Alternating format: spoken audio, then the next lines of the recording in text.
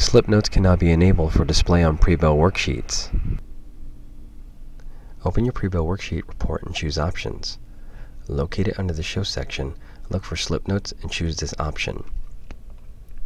Once you choose this option, you will notice under the Formatting area that two other options become available, which are Limit Slip Notes to 4 lines and Double Space Slip Notes.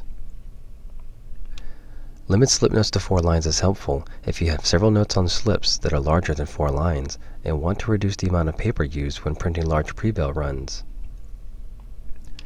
Double space slip notes can be helpful if you would like extra space between lines to make additions or corrections.